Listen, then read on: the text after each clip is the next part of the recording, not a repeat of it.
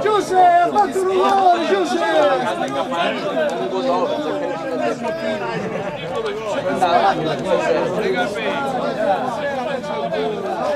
Daqui a prova de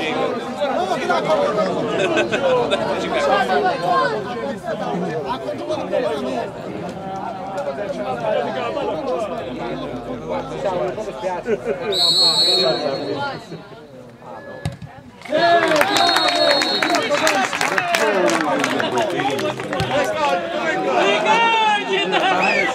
Mannaggia un mato! Hai sulle tribune per ore!